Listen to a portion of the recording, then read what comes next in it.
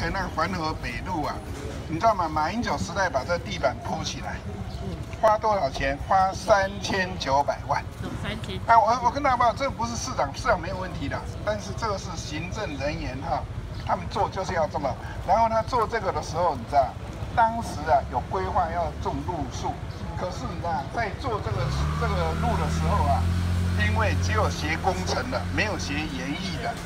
你知道吗？现在有很多政府的工事情都是找工程的在做，啊，没有原因，所以做出来不美观。好，等他做完的时候，下面竟然怎么样？没有留树窟，所以呢，所以哎树树屑了哈。那没有留这树屑，那怎么办？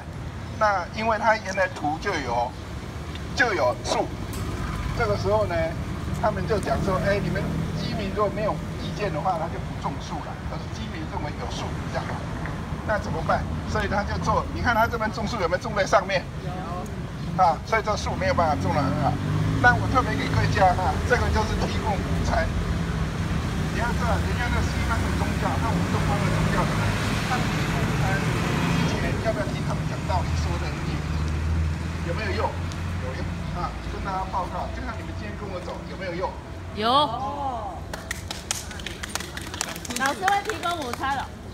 哈哈哈哈哈！不然怎么怎么听对得起来？